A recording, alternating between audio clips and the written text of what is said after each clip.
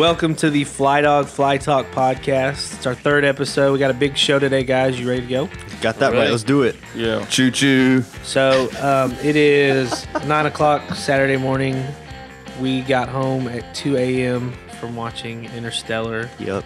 We will talk about that later, not right now, because we don't want to spoil anything for anybody. Um, we're going to talk about um, our favorite shots from films we like. We're going to talk a little bit about Star Wars and the Hunger Games, and then the last half of the show, uh, we'll dive into the Christopher Nolanness of Interstellar. So, you guys ready to go? Let's do it. All right, go yes, ahead. again. Uh, I'm I- Austin. yeah, identify yourselves. I'm Austin. Because Blake, Blake's I'm back not- this week. I'm, I'm not. here. I'm not Everybody. Austin. Hi, I'm Tyler. I think I always start off every episode with a high pitched high. Every time. Hey guys. It's going to be my thing. It, it was a weird thing last week. It was funny, but That's me. I'm a weird thing. But funny. Yeah. But but funny. That's weird. So I kind of wanted to start today off talking about um, our favorite shots in movies, uh, why that is, and then maybe what we can learn um, from them to apply to our own productions. So does anybody have a favorite shot from a movie? I do. Um, but Hunter, why don't you go first? Why? Because I want to think about mine a little bit longer. so you don't. I I have know. one. I have one that I don't know if it's my favorite shot, but it's like as soon as you asked the question, that's what popped in my head. Uh, the very first shot of The Dark Knight, you get this big like over the city. Like when I saw The Dark Knight the first time, I was in. It was an IMAX theater, so like, and I was right in the middle, and it just. So I you don't used know. to be rich. No, no, it was my birthday. Oh, so- okay. Treat myself. And then, so like the very first shot, like it's kind of disorienting, like being in this IMAX theater, like right in the middle. So you get this huge massive screen, and then like flying over Gotham City. It was just really cool. Shot really well. Yeah. So what do you think that that can teach you about movie making in general? Um, we need a helicopter wowing? budget. Yeah. I think one of my favorite things about that shot is it established the bigness of that world Oh yeah, right away. Bigness. I mean, that large format, the large widescreen aspect. I mean, you knew it wasn't going to be a small, tiny little story. Yeah. So have you ever heard of CSI? I think they have a couple shots like that. helicopter shots. Yeah. But there was Not no. shot on IMAX. But there was, and there's no Batman. That's true. You can't compare Batman. that whole to sequence from the beginning of that movie is probably my favorite. Like sequence, that whole bank robbery. Yeah. I mean, it is a different kind of superhero movie way to begin it. I just Well, he- really I think he, Everything going wrong. Yeah. I think he tries to copy that in Dark Knight Rises, but I don't know if it's it's not really the same. But it's still it it drops you in right in the Yeah. middle of, of something. But I don't think it compares to the Dark Knight. Mm. I don't know. It's just more fun, I guess. More fun. More funner. Funnerist. the funnerest. Um, I think along the same lines as Joey, as far as bigness, um, I would say that one of my favorite shots is from the opening scenes of the Lonesome Dove. ooh. Um, for some reason, just comparing, It's a western, Blake. All So- right. Thank you. Okay. it's with uh, Robert Duvall and Kevin Costner. Great. I think you mean open range. I just want to make sure I was thinking of the same movie. Uh, but some of those opening shots are very establishing of the scale of the wilderness compared to the landscape compared to Robert Duvall and Kevin Costner and their little cattle gang, their little uh, cattle ranchers. And I don't know, some of those, they just, they're such small characters in such a bigger thing. I think, um, but yet at the end of the story, they still kind of they make um their actions mean something. Mhm. And I think that I think that's a good idea to go for for shots is to use your shots to back up your story. If that makes sense. Yeah. Am I just talking to talk? I think that makes sense. I mean, of course, it makes sense to use your camera shots to back up your story. Camera shots And make great cut. movies. No, I get what you're saying though. Um, I don't know what our fascination is with with opening shots. Uh, both of you guys had opening shots. What came to my mind was also an opening shot. Um, I myself, I'm uh, what they call them, Whedon heads. I'm a big fan of all of Joss Whedon's work. I Um, think those are called pot heads. Oh, okay, that's what it was. I get those mixed up all the time. Um, yeah, so you know he has his favorite, or he has his uh, big show Firefly that a lot of people like. Um, I'm a big fan of the show. I guess. It, you know, it got canceled after it's just in the middle of its first season, but later they were able to make a movie, Serenity, and uh, kind of continue on the show and in the story. And um, at the very beginning, I don't think it's the first shot, but it's one of the first. Uh, it's it shows the name of the ship that they're on, which is Serenity, and it backs out and kind of swoops around, and then it goes into the cabin of the of the spaceship, and it does this one take where it kind of leads you throughout the ship, following the captain and introducing you to each of the other members of the crew. And it does a really good job of establishing these characters for the first time if you hadn't watched the show, but even if you had, just kind of relating to them, and then showing you the layout of the ship, which they never really got to do on the show. Um, and it's just a really cool shot how they very quickly teach you who they are and why they're there. I- I've always really liked that shot.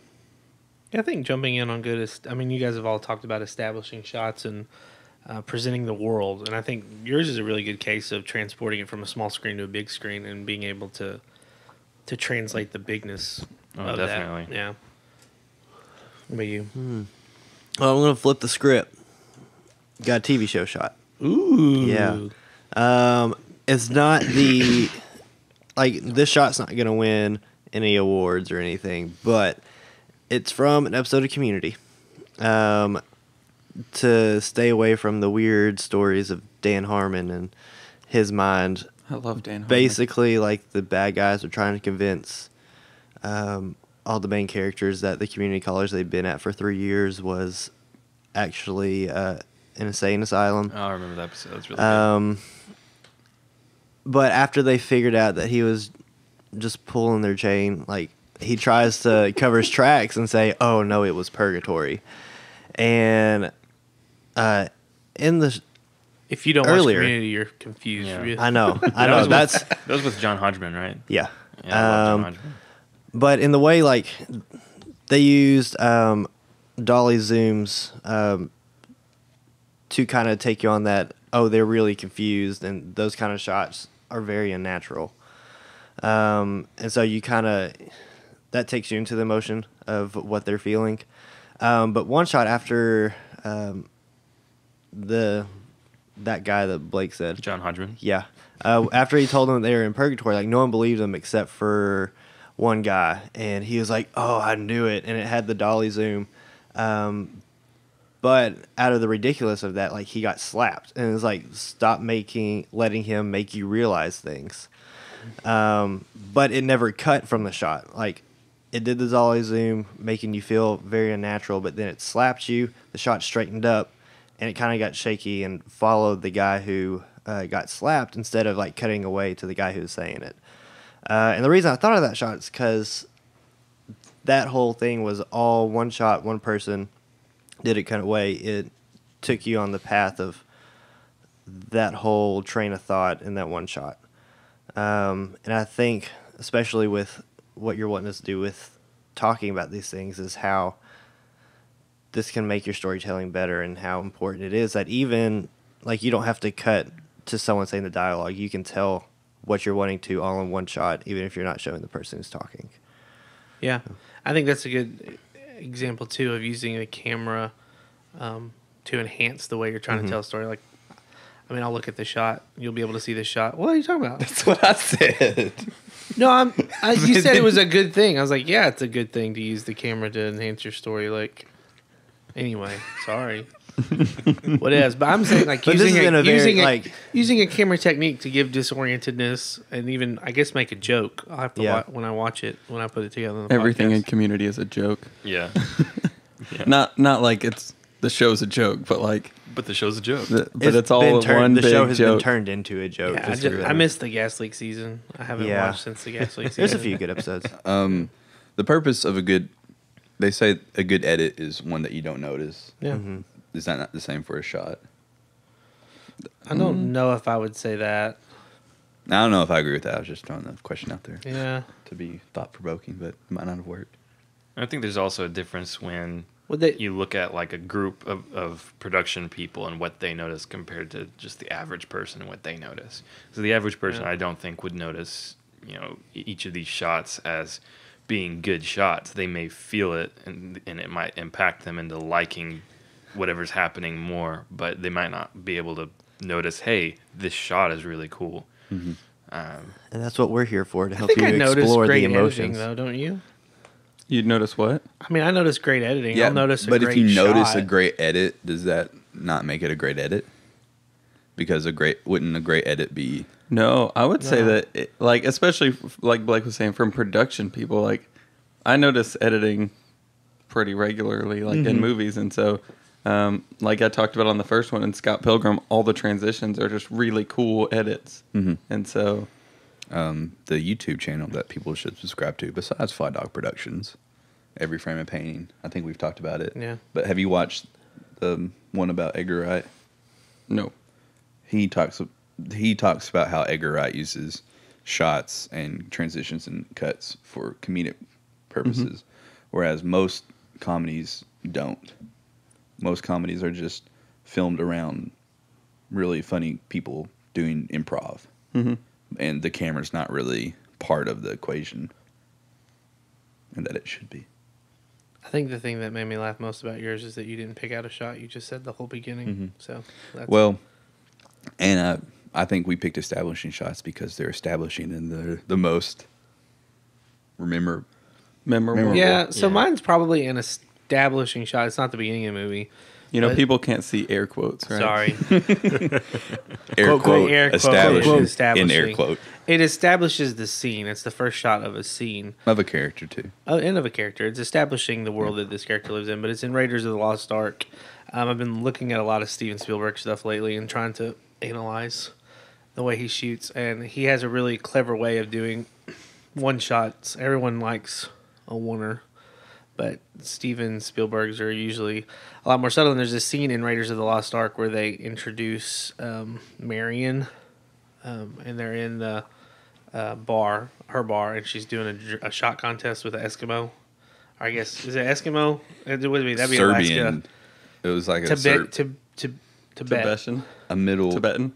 He's Asian, she and he's Everyone's No, an the Eskimo dude's in their Asian. heart. she it's is a girl. Yeah, I'm pretty sure it's a dude. Eskimo.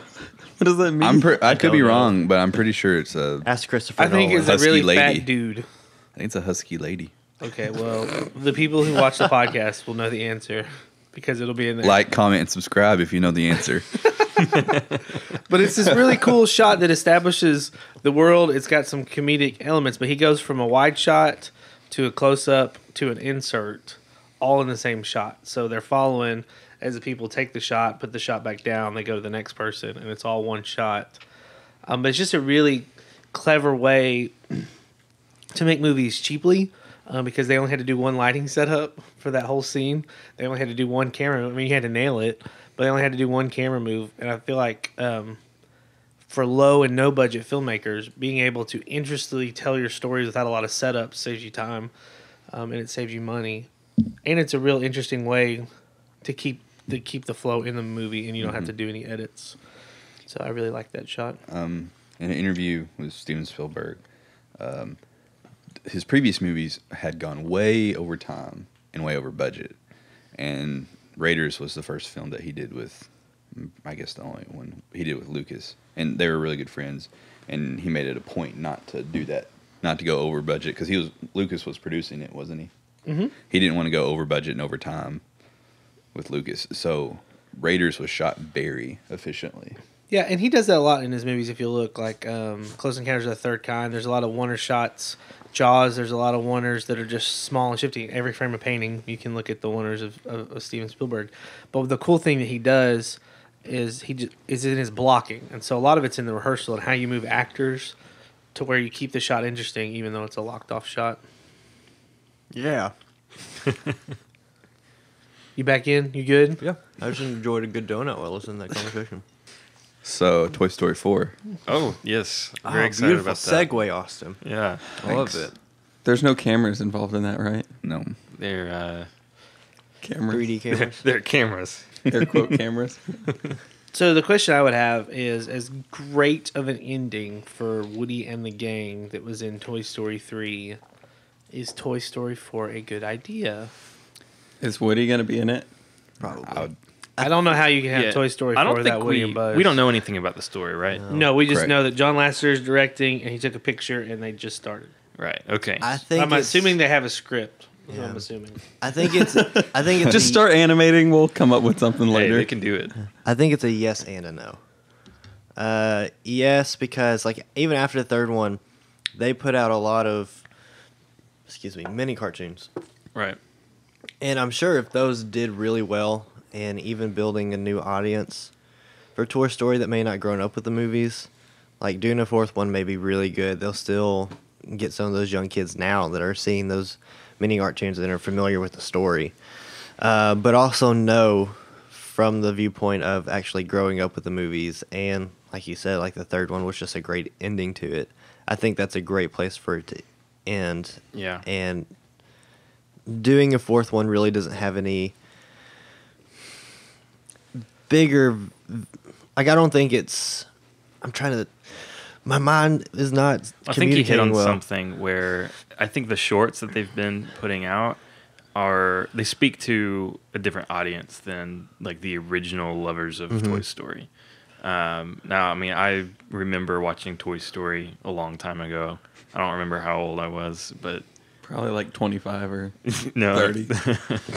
uh, uh, so I'm 26 now. Uh, so I was, I don't know, I'm a few years older than was it 1990 Andy Andy was born 90, 91 ish, somewhere. Yeah, so I'm just a few years older than Andy, and and the movies you know have aged up, uh, in in time like, with real time. So if that helps put you there, but I think um, the difference, like you can't just say, oh, these shorts are successful, therefore a movie will be successful. But I think it is evidence for sure, like they are successful, which proves to us that whatever cast they have now works. Um, They have they've added in new toys, new characters, and they've lost some, but it still works. Um, I I do think it'll have a different feeling because because of the nature of the third movie and how it definitely ended an era. Um, we'll probably expect something a little different for Toy Yeah. Story four. But when it all comes down to, is it a good idea? Is it a bad idea? I think Pixar is some of the best storytellers in the Yeah, world. that's what I was so say. If anyone Lass- can do it, they yeah, can. I think John Lasseter.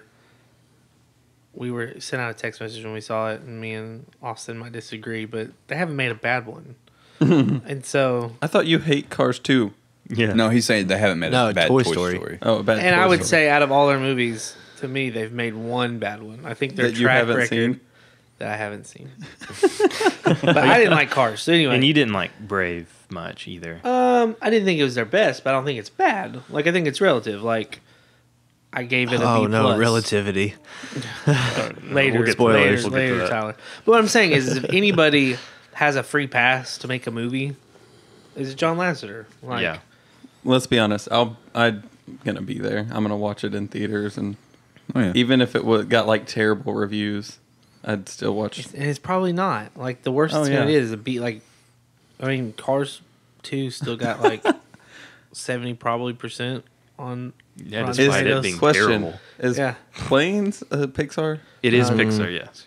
yeah but that It was one uh, released by Disney. Yeah, I think they gave them rights officially to that Disney rules. that- yeah, right, I yeah, think okay. they gave them rights to that world. Was it to save face where they're like, oh, oh, we'll put But I think- No, it's probably Disney Studios. I, I imagine just the way that those movies work, um, and it, it's not just planes. Uh, I mean, planes fire and rescue Yeah, well, historically, uh, Disney's put out a lot of strange sequels that people unanimously agree aren't as good, and it's not just like the Cinderella concept too. of sequels aren't as good. I mean, they're clearly it's weird. Yeah, Cinderella sequel, Mulan sequel. You know, They put out Yeah. those direct Yeah. DVD things for Pocahontas girls. too. And I think I think what smallpox. I think what some Peter people Man don't 2. understand is um, although they are created by those studios, it's a lot of times like the B team or the C team in the studio that It'd be us working. right. I mean, it, it, it's uh, Well, and they're letting them practice, and I mean, they know that the market's gonna be like Toy Story Two was supposed to be a B team effort, and it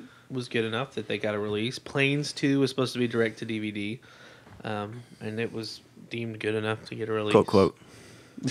quote, quote good. Yeah. Um, I never saw planes. I haven't I'm seen it definitely either. gonna see boats though. I mean, out of the three Toy Story movies, Toy Story 2 is not my favorite. It's not bad by any stretch of the means. I did not enjoy it. but I don't know. Di- I didn't not enjoy it. I'm not gonna say that I didn't not. As I Jake really Ziegler, don't want to Ziegler not would see say, it. 50 50 is good or bad. Well, I, I either liked it or I didn't. It's a hundred percent on Rotten Tomatoes. Toy Story, Story 3. two? Toy Two. Story 3 is at 99. Two. Toy Story 3 was the lowest 100%? rating. That's surprising. Yeah. Toy Story 1 had It 100, is a 2 has seven 100. point nine on IMDb. I'm telling, like critically, Toy Story Two is most people's favorite. Mm-hmm. That's weird. Wait, so I Rotten don't Tomatoes understand is that. it 100 percent from both Well- like fa- fans and What's- critics? What list are you looking at? You're just looking at Rotten Tomato score? Yes, Because I know on IMDb. it is eighty six percent from user, hundred percent from critics. I know on IMDb, Toy Story 3 is high, is the highest Toy Story mm-hmm. movie in terms of critics. Yeah. And place Well, on on, critics, on I'm the pretty sure. Toy Story 3 on Not there under is Ganja level. 99%. It's the lowest on Rotten I'll look it Tomatoes. up. Well, But I'm, I'm just saying, like a lot of people that the and the opening scene of Toy Story 2 is really cool, where it's the video game. Mm-hmm. It's the Buzz Yeah. Lightyear. Toy Oh, Story yeah, Three yeah. is ninety nine percent. Yeah. that was really Dang. cool. Yeah. But the opening scene of Toy Story 3 is really cool too. Yeah.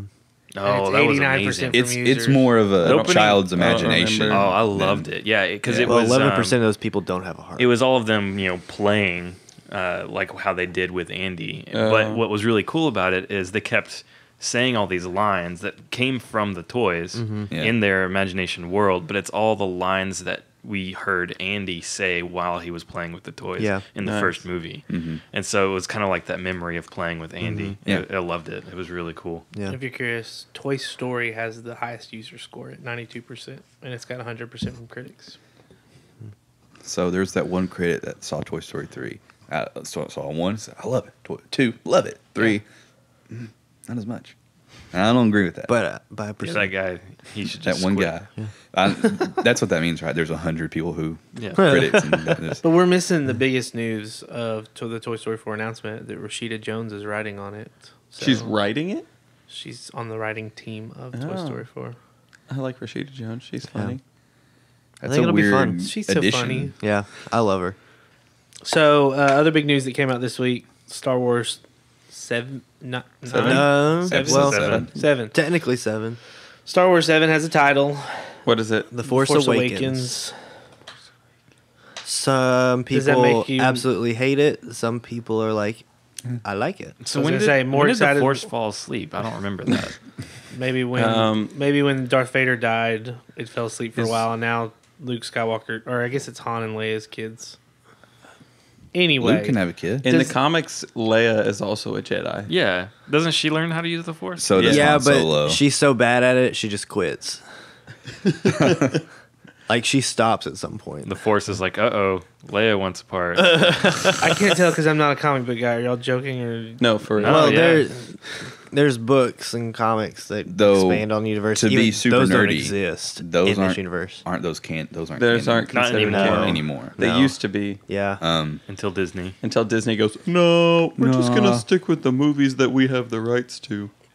yeah. I So does this does the title make you more excited, less excited, or The you're at the same. same? Yeah, it's the same. Like I saw it's someone a very say, boring title. yeah. Well, they they said like A it new falls in line with The the, Empire other Strikes titles because the other uh-huh. titles are very generic. Yeah, that sounds naming Yeah, like it goes in line with that, but Except a Phantom Menace.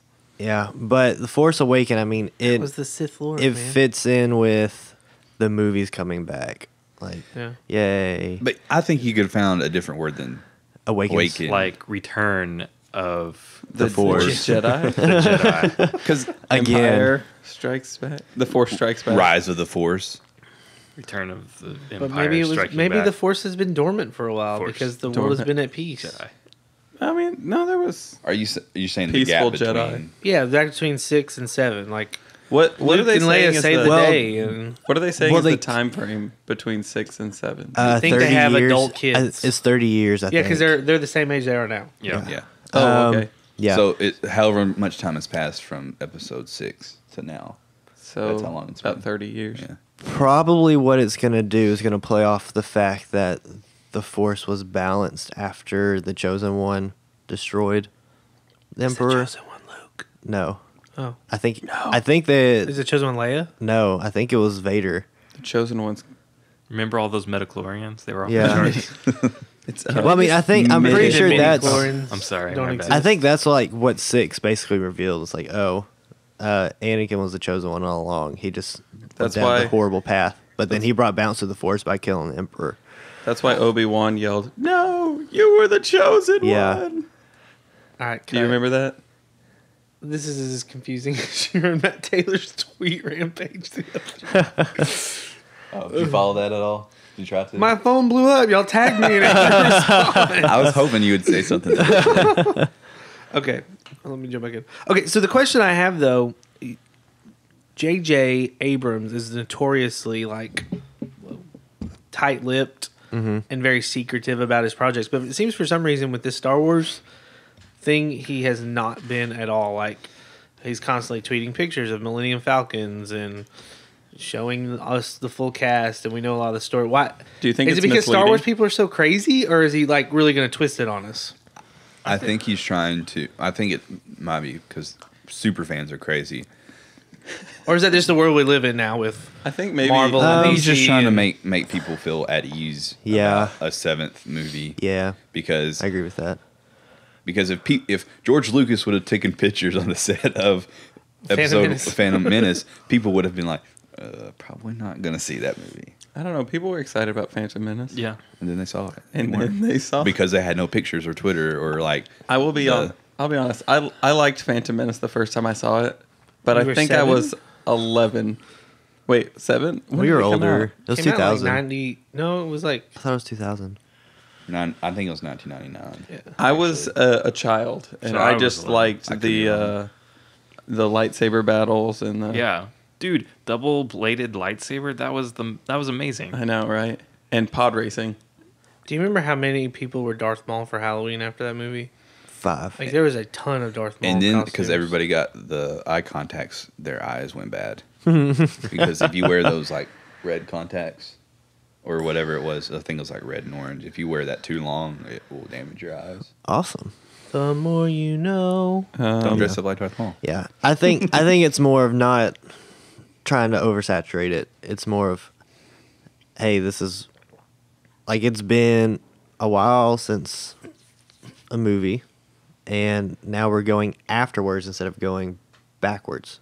Yeah. And since they're involving the original cast and stuff, I think it's, and I don't think it's been too much that he's really released. Like a lot of the pictures have been weird. but you don't think it would have been cool to not know if the Millennium Falcon was going to be in the movie and see it later you know what I mean like Uh, Yeah. I guess I never really thought about it not being in the movie. Yeah. That's where That I'm sounds at. like you remember, I'm just sounds saying like you remember a time when we like were genuinely surprised by what we saw on screen mm-hmm. like we're about to transition to Interstellar here in a second I mean, I was and there were some genuine surprises like oh we didn't know that that actor was going to be in there type thing Yeah, but I think that stuff is way too expected to where people see it as ruining a surprise. Because I don't think people see it as a surprise if the Falcon's in there. I mean, it's like tweeting tweeting stuff out and stuff like that. I think now is a form of marketing. Like there are people who are going to get more like when people about. leak their own sex tape Sure, I've, i'm going to take that out but I've done that.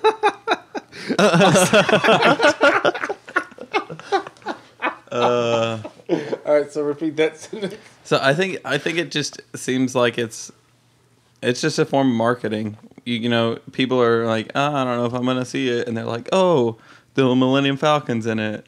You know, maybe I should go watch it. I don't know why you would Yeah. see it for a ship. Yeah. I feel like with Star Wars, it's a, it's a special circumstance. Like the fan base is so large, and, and they've been around for so long, and you know, Star Wars has been doing stuff steadily over the years.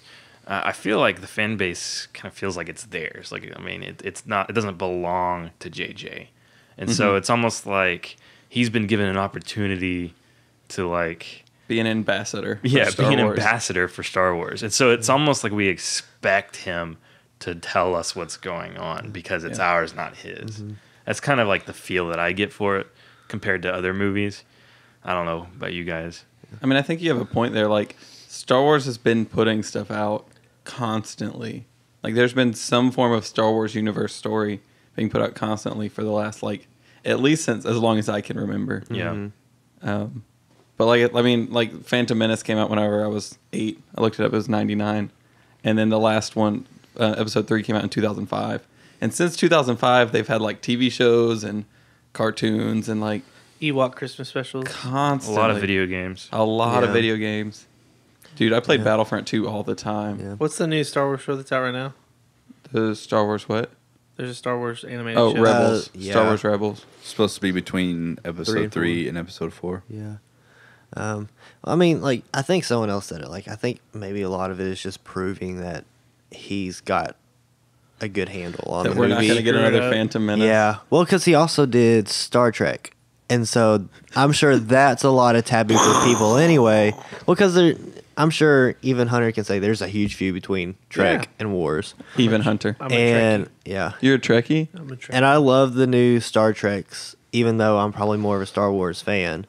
Like seeing JJ on the set probably puts people at ease. He's like, okay, he's he's got it. He knows what he's doing. There's some cool stuff happening. So here's a question. I know with Star Trek, like I haven't seen any of the original stuff. All I've seen is JJ's new movies. Yeah, me too. That, that's the only Star Trek I've, I've ever seen. And he, Y'all breaking my I heart. feel like he did an excellent job of catering to that. Like I felt like I wasn't missing much. Mm-hmm. I mean, sure, it inspires interest, and I may go back and watch some because of You it. need to go watch Wrath of Khan. But uh, like those new movies, like the characters were introduced to me well. I got backstory, I, I got context, and I understood what was happening. But you didn't have William But I would say too, like the Trek, the Trekkies. I mean, I think they're as rabid as some Star Wars fans, but they're definitely outnumbered. Like I think there's way more Star Wars fans. I think Star Wars is just so ubiquitous now. Yeah. Well, my question was going to be, uh, do you think he's going to be able to do that with Star Wars Episode Seven? I think he has to. To an What, extent. cater Well- to people who don't know the Yeah. Star Wars universe. Yeah. Well, what was said, like this movie's, I think they're treating it like a send off for the original cast, in a way. Um, So to it's a- where like the new cast is still going to be play a, a very important part. It's just not the original. It's original. a cast. transition Yeah. from Well, I think they said that at first, but now I think because they, I think I've read stuff that since Harrison Ford's on set, like he's taken a bigger role. Because Wait, it could. started. Yeah. It started out not like that, but Yeah. then recently, like they Yeah. said, 'Cause he- oh, we're treating it more like a send off to the original, and they're gonna. Because he, 'cause he said, "Uh, JJ, we're gonna put me more in the movies. And Is that how Harrison Ford talks? yeah, you never watched him in the interviews. That's how he talks. His interviews are crazy. Yeah, they're like, and then we uh, we got on set in London and we just decided to go out and film." I watched Blade Runner once. Is that the same thing? We were Yeah, forced that's to watch Wars. Blade Runner It's once. Star Wars Blade Runner. Be a good So speaking of crazy, last night we watched a three-hour movie that started at ten thirty. That was crazy. I got home at two in the morning. That was kind of crazy. Uh, so we're going to talk about Interstellar, Christopher Nolan's new movie.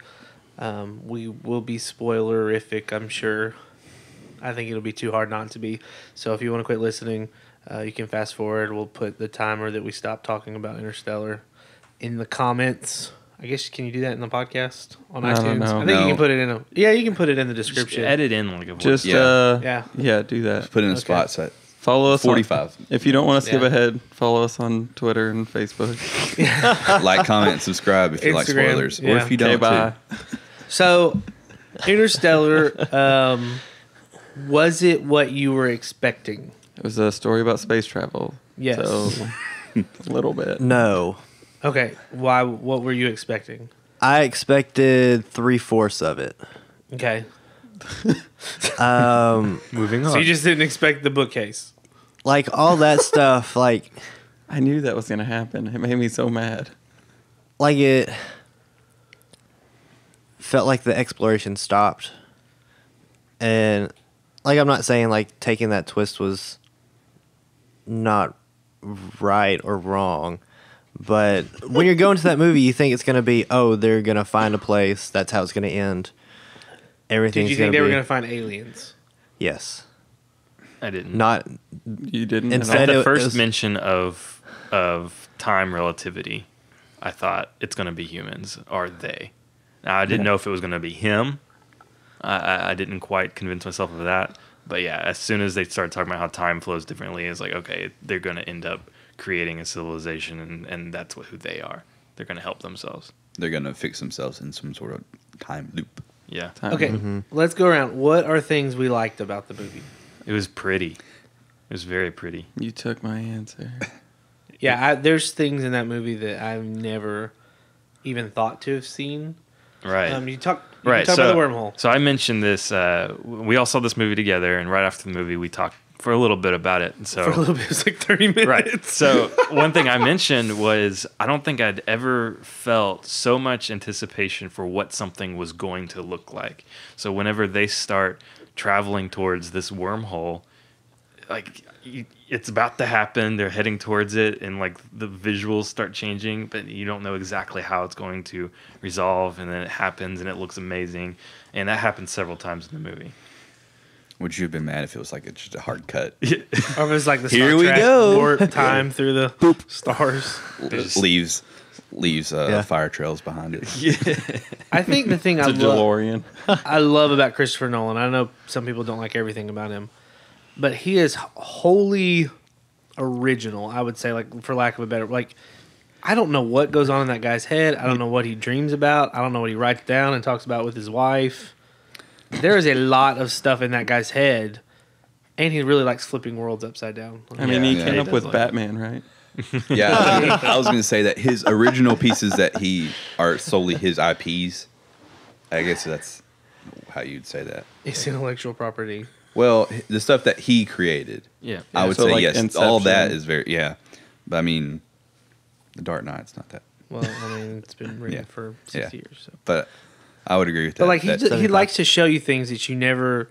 I mean, the wormhole was cool. The black hole was cool. The ice planet was cool. Oh yeah, the ice planet. The frozen clouds. The is a frozen weird. cloud Yeah. thing was like, and Austin complained about this. The obvious exposition where he, like they're flying into this frozen planet and they hit a cloud, and then Matthew McConaughey goes, "Frozen cloud." We're like, oh really? Thanks. Thanks, Matt. The but I even liked like on the okay on the water planet like those waves were not.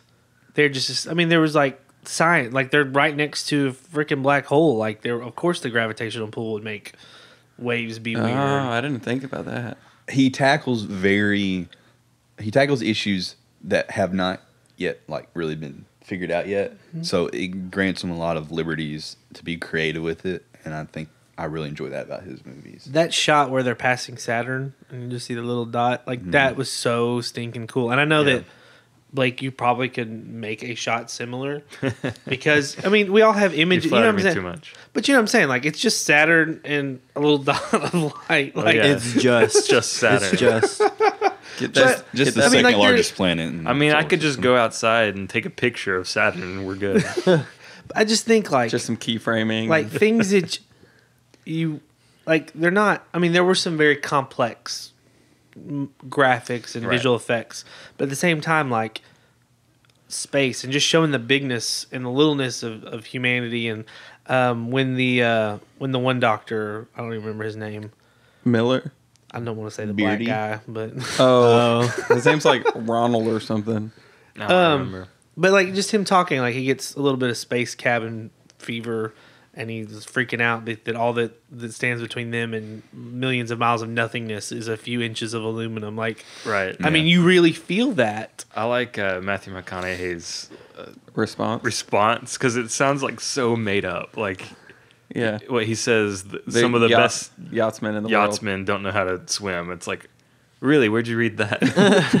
But if I did that. learn, Where's that in the footnotes? if I did learn anything, an it's if you opinion. go out on a space exploration, bring n- nature sounds. yeah. 'Cause Or- it's- he he gave him the little headphones Yeah. with it, and I was like, "That's really smart. Yeah. Like I would never have thought of that." Or make sure there's life jackets on a yacht.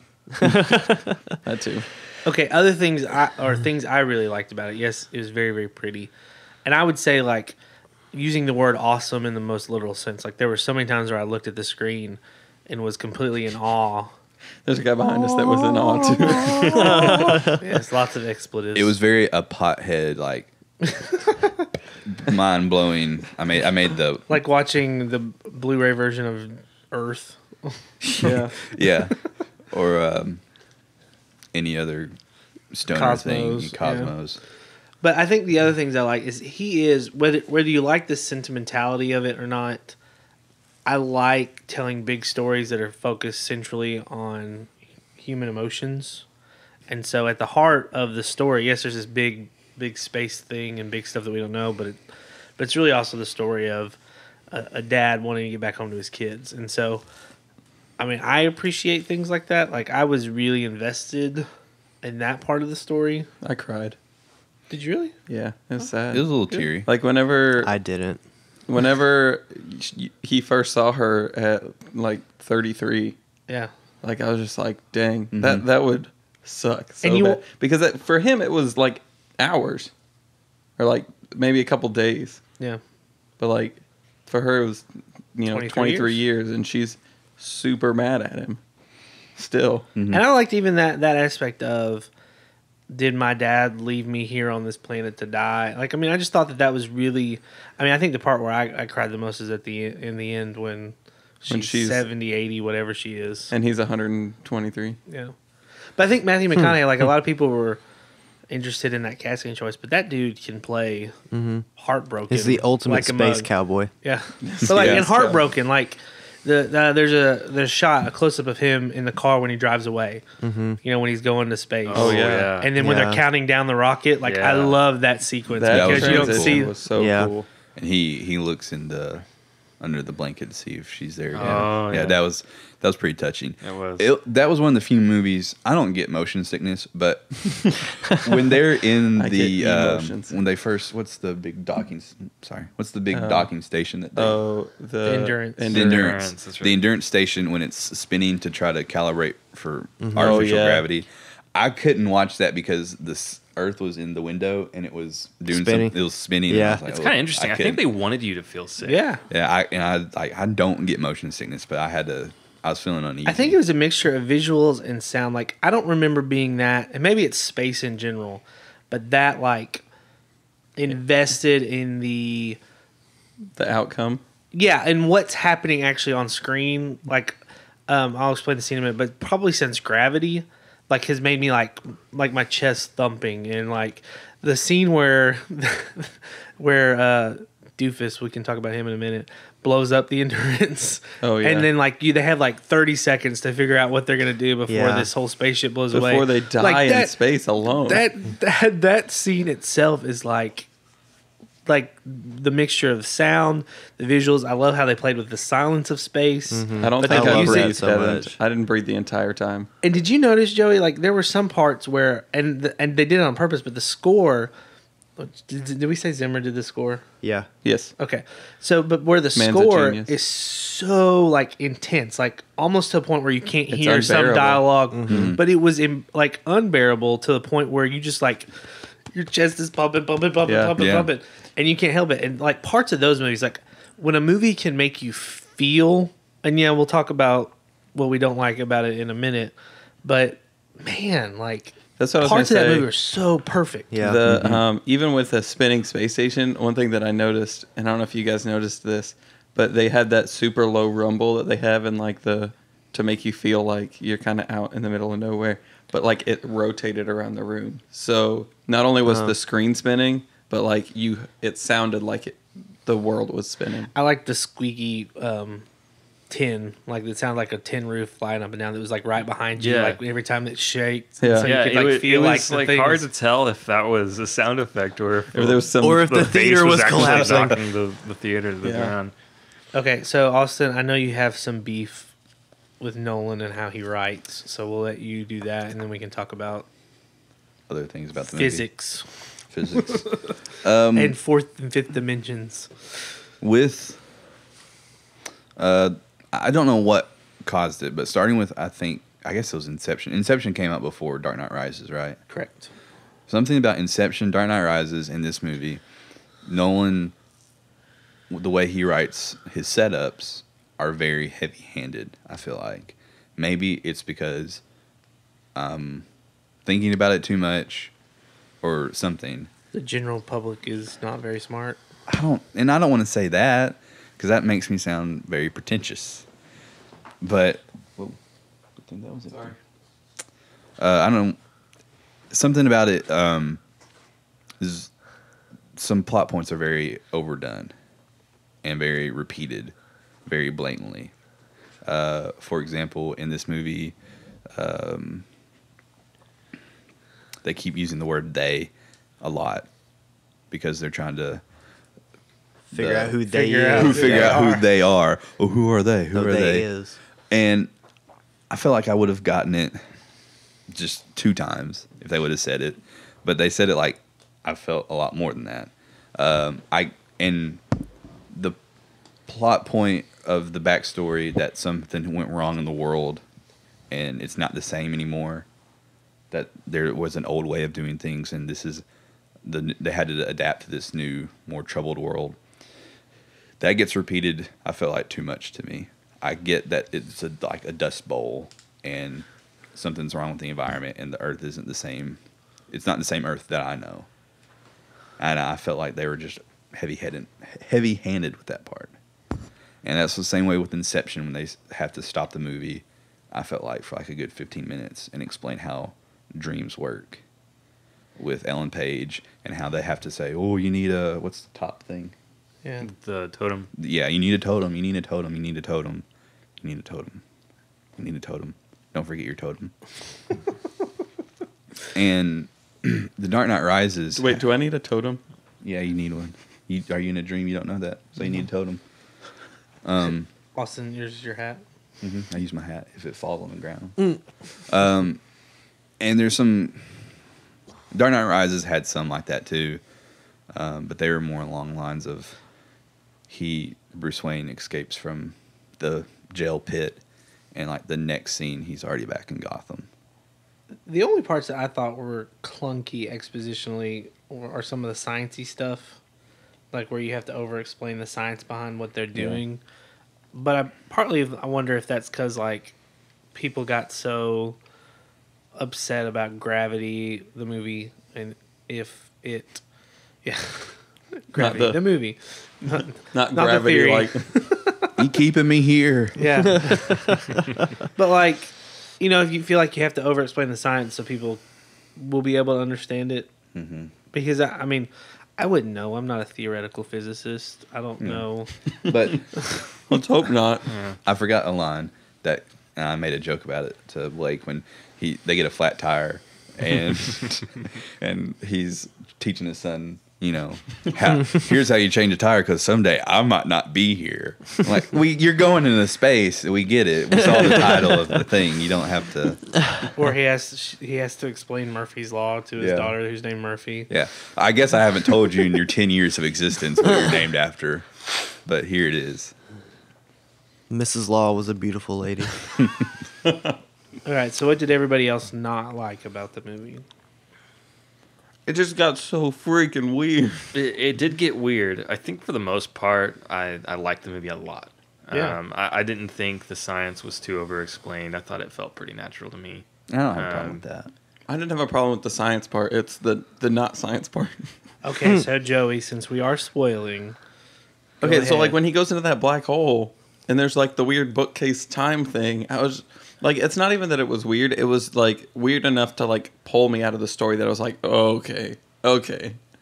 Oh, so he's gonna fix everything now because he somehow survived a black hole and now is in an alternate dimension. that's now in so, three but in the dimensional story, space. the future humans are trying to help him communicate to people in the past. Yeah. Is it the future humans? That's Yes. what he explained it to be. And it could be So the future humans sent him through the black hole. Right. See, so I don't even remember hearing that The explanation. space Well, yeah. He, continuum. he said Was it Michael that- Caine again? No, No, it was him when he's whenever- talking to the robot. He was talking to the robot while he was in the Tesseract, and he was saying Not the uh, Marvel Tesseract. The no, it's all connected. the robot we just don't know it yet. said something about they again, and then Matthew McConaughey said, "Well, don't you get it? It's it's us." And then I he thought ba- by us and- he meant him and the and robot. Then, Yeah, that's what and I thought then too. he said, like, not literally us. It's it's like, or no, the robot said, "We don't like. How did we create? Like, Yeah. We didn't create the Tesseract." Yeah. And he said, "Well, not us." humans like eventually we'll have the technology to be able to transcend these dimensions and create this tesseract And that was the question I had for you guys last night. Like it was a, and then me and Blake were talking about like the future humans somehow survived long enough to send Matthew McConaughey back. right to it's, save it's the future humanity, paradox like- where something can't be contingent upon itself Yeah. and But it's it not is. it's not new to this movie like a lot of movies have had this issue um donnie darko where uh what the engine off of a jet falls through time and like causes all of these events which actually end up causing the plane to crash in the first place. So something causes itself. And in that movie there's actually um, a book that uh, that one professor lady wrote.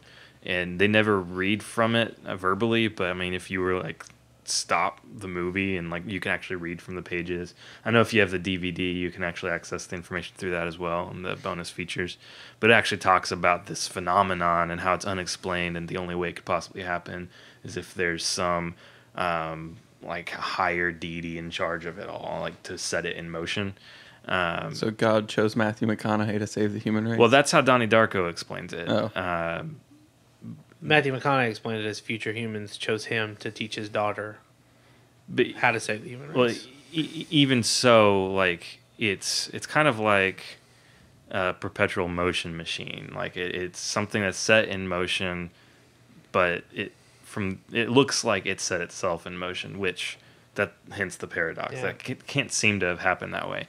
I know in like uh, Legend of Zelda: Ocarina of Time, there's a lot of time travel in that. Yes. Uh, and you go around and, and you solve puzzles and stuff. But w- one instance, uh, you uh, are an adult and you go to this village and you talk to this guy who's like really upset and he talks about how this little kid seven years ago came and played this song to control the weather and, and messed up his life.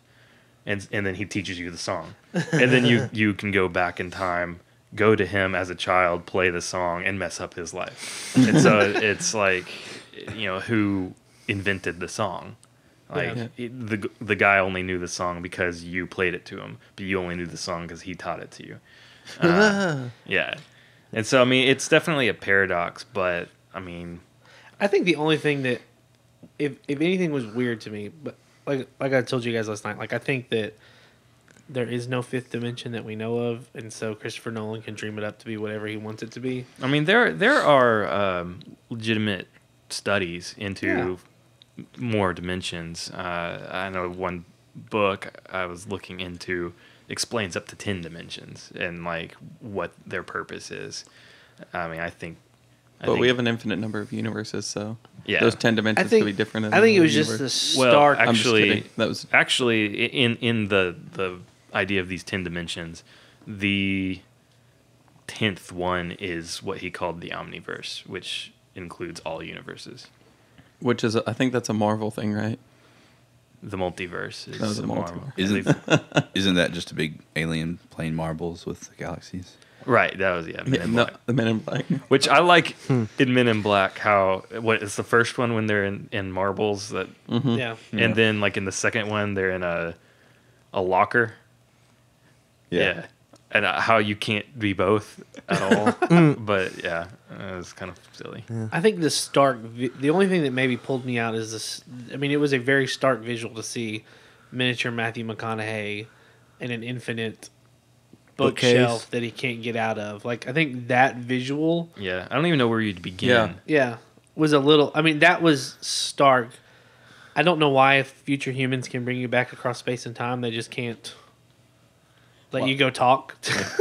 Yeah, I think Let, that's us make part of it. more. Uh, like if, if the future of the human race depends on a girl discovering Morse code, like Mm-hmm. yeah, on a watch Yeah. because her dad is like because her dad loves her. fifth dimensionally placed behind it. The book. Yeah. And I, I think did that was the weird, the weird part. Like, because I missed that whole explanation. Like, I heard and say like that's us, and like Joey said, I thought it was the robot and Matthew McConaughey. That was them. So I like I missed completely that the future humans put him in the black hole, all that stuff. But even if I would have known that, it still would have been weird to me because any other really story with time travel, setting stuff in motion, like that stuff doesn't bother me. It was the fact that it wasn't like it was done in a different way, like Yeah. something that I can understand. You was- going back in time and visually physically being there and changing something. Yeah, it seemed like it was almost too Yeah. convenient for the, the way that it was set up. Yeah. But he, he did, at least they did have an explanation that I thought helped a little bit how he talks about they, or the future Mm-hmm. humans, uh, who mastered the ability to send information through different dimensions, including time Yeah. Mm-hmm. um, basically built the Tesseract for the limited third dimension Matthew McConaughey. And so the Tesseract was designed for him to understand pushing forces through time. And so it it's in my mind like I'm thinking about this future civilization. They probably don't all interact with time the same way Matthew McConaughey did in this moment. This is probably like a rudimentary version of how that they uh, messed with the different dimensions, and it was designed so that a third dimension being can understand it. That's why it, it probably looked too visually convenient, but I think it's because maybe it was convenient. Well, when he was was falling into that be. Yeah. the black hole, and then it was just all of a sudden like all those rooms around him, I thought he was just gonna hit the floor and die, like like it was some sort of like space station figured or he was something. transporting through time. I mean, I, I got that. I didn't until Dude, he that when that when the plane was breaking through, and like I mean, that was an intense scene Mm-hmm. going through that black hole. Golly, I loved it. Yeah. He ejects into space. into a black, a black hole, hole. which was crazy. Um, according to physics, he would have disintegrated. Actually, he would have stretched Well, they said that physics don't physics doesn't traditional apply. first physics doesn't apply to a black hole because we don't know what's inside a black hole. Yeah. Well, yeah, but the gravity of a black hole will stretch your feet before it stretches your head because it's that strong and it's that like quickly Well, if you're going onset. feet Have you ever been in a black hole? Matthew McConaughey. No, yeah, Matthew no. McConaughey. Matthew McConaughey was in a on a sound stage in a green screen. Okay, so your overall impression of the movie, Tyler. I mean, I still en- enjoyed it. I think if I go back and watch it, like, especially when it gets to the bookshelf kind of scene, that part may come together a little bit more. Um, it just distracted me so much to where just, the rest of the, in the movie, I was just like, okay, what's going on? Yep. Um, I need to make sense of this in my head for me to make sense of everything else. Um, but I will definitely want to go and see it in IMAX again. Dude. Yes. Um, I don't know owning the movie just because it's it's long, and yeah, it's three hours long. yeah. Um, but overall, like low B. Low B. See, I'd have given it like Way higher for me. I would have given it like an eight and a half or a nine out of ten I thought you were saying A and a half. before eight and a half. Mixed Yeah, we're on two metaphors. different grade scales. I don't know Yeah. if we can do this now. Eight and a half or nine out of Uh, ten Four point before five stars. before the bookcase thing. Like it would have been an it would have been an A before the bookcase thing, and that just dr- pulled me so far out of the story that it dropped it to like seven and a half or an eight, like a whole whole point value. I would give it a mini Reese's out of a random assortment of candy in a candy jar in a teacher's desk. Oh, that's so bad. For me, it's way higher. 1.9 thumbs up. visually, visually, I say it was one of the best Oh, things I've yeah. ever seen. So pretty. Um, four stars out of five. I think it. w- keep mixing them. I'll Um, give it a. a But that was, that would be my honest. I think it was like so invested in it, and I have to give him props for. I mean, you guys say it's so different from what we've seen. Man, That doesn't bother me. I think it was so funny. Like I didn't expect it to Oh, be really yeah. funny. Yeah. Um, You thought it, was wa- really funny.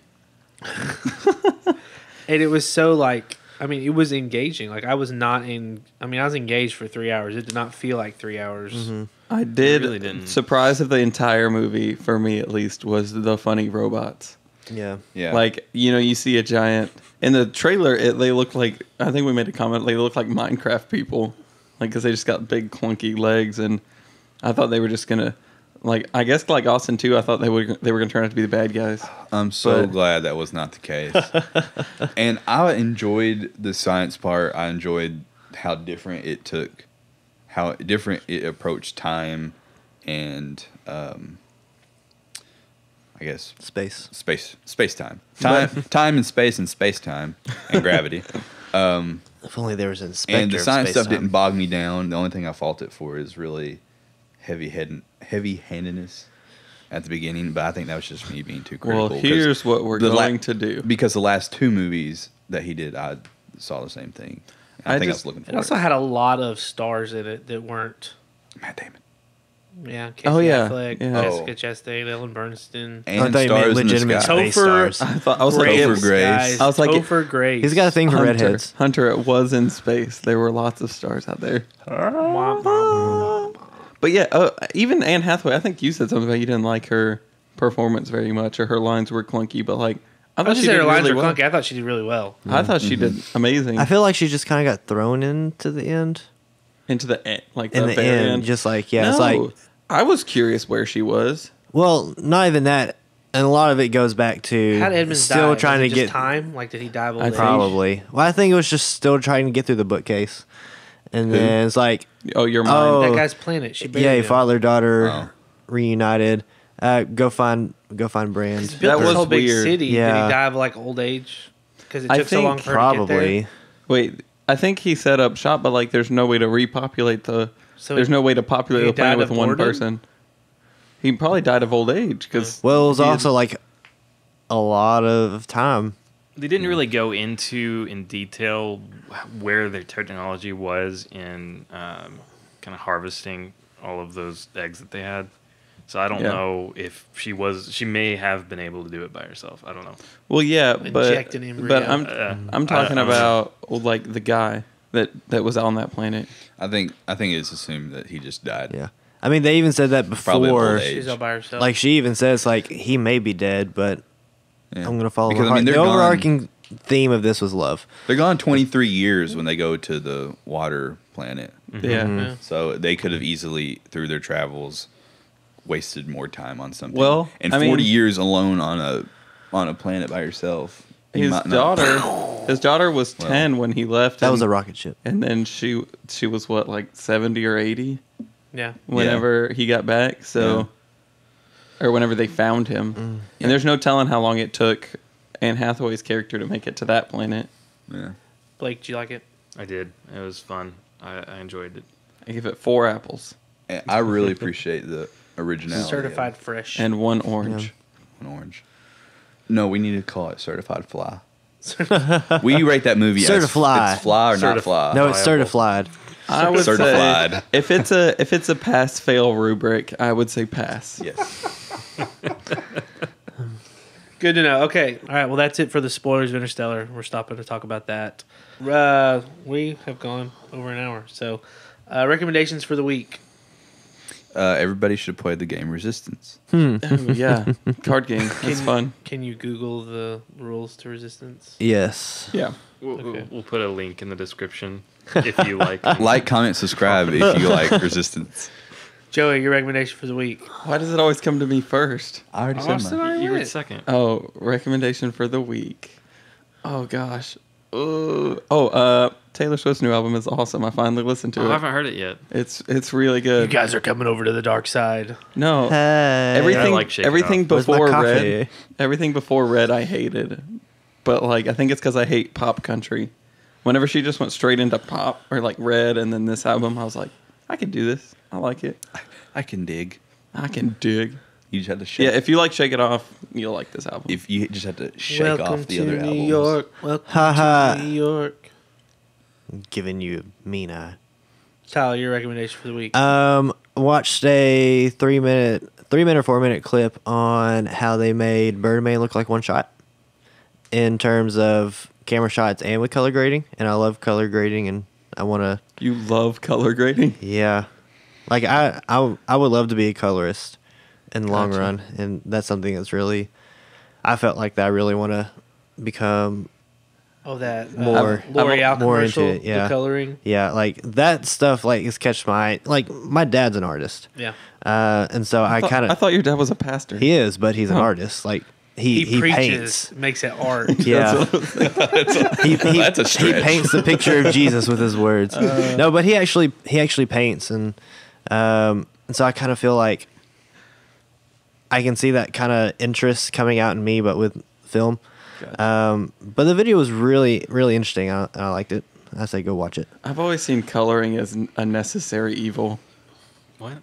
I just, I don't know. Not like coloring like crayons and I'll draw on the menus Crayons. at Joe's Crab Shack, but no, like coloring video. I just like, wh- I don't know. Mm. What's your recommendation, Blake?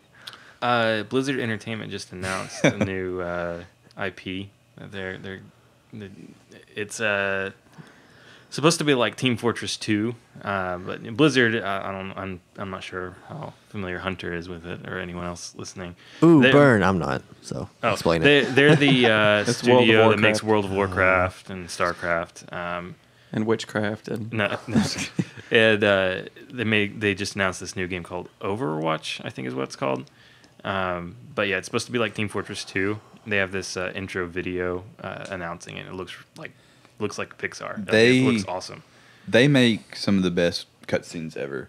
Their actual game never looked that good to me. Hmm. Well, But- they're they're efficient. There's they know how to make something run well. Yeah, but their cutscenes are like top of the line, engaging and awesome.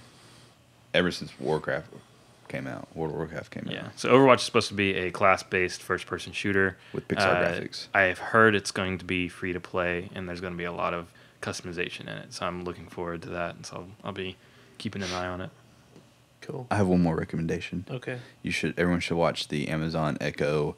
What Echo's really thinking video because it makes fun of the very bad Amazon commercial. if you haven't First, go watch Echo. if you haven't the- heard of Amazon Echo, the advertisement It's- for the Echo thing. it's like a standalone Siri for your house, and the Yep. commercial's really funny. If you want to talk about m- beating the script over you, go watch that commercial. that one's very bad. Well, my recommendation of the week is uh, Film Riot's Thursday episode. They reviewed the Sony A7 camera. It's an incredible low light camera. They're getting. Uh, what? it's cool if you're interested in stuff. They they're shooting stuff with ISO of forty thousand and above. Like I think the camera goes up to something like one hundred and twenty thousand ISO. It's usable. So you can get like night vision. Yeah, if you if you watch the Film Riot episode, they go up to fifty thousand ISO and it's usable. Um, it sees better at night than your own eye does. Dang. It's I pretty. need new eyes. it's pretty freaking crazy. the world is so these close to replacing us with robots. Yeah, no, I mean, and and there's some definite disadvantages to the camera, but if you need an awesome low light camera Mm-hmm. to shoot stuff at night, like that, it it blew my mind. So that's my recommendation for the week. Okay, well that's it for this week and this week's episode of the Fly Dog Fly Talk podcast. I said the title right that time, guys. You did a very Yeah. good job. I know, right? Yeah. So uh, next week we'll look at our Doritos Crash the Super Bowl commercial. Yeah, we'll talk a little bit a- about the pretty fun. process for that um, that we went through for that, and Joey's bringing Tostino's pizza rolls. So, hey Mm. That's Joe, a you, beautiful Joe, you want to give us a social media shout out? Yeah, follow us on uh, Facebook, Fly Dog Productions. We have a website, flydogproductions.com. And on Twitter, we're Fly Dog FlydogProd because Productions was too long, I guess. And YouTube. Oh, and then we have a YouTube. Yeah, hopefully you're listening to us on YouTube or iTunes. Oh, and we're on iTunes, like actually on iTunes. We're so official. tell all your friends and uh, rate us so we can get pushed to the the What's Hot page. Yes, because we would be what's hot. I'm always What's Hot. I'm what's hot with my mom. What? See you guys next week.